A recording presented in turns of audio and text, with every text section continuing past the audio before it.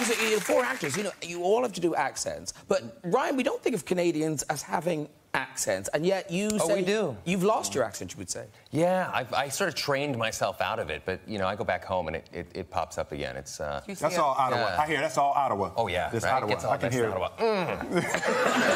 That's Say talk about. Uh, it's a uh, well in Canada it's a boat. That's what I'm saying. A boat. Say it the a way boat. you say it. What are you talking about? What are you talking about? But it's all my everything is. I, I, it's a bad word, but I'm sorry. So you handle everything with oh fuck, buddy.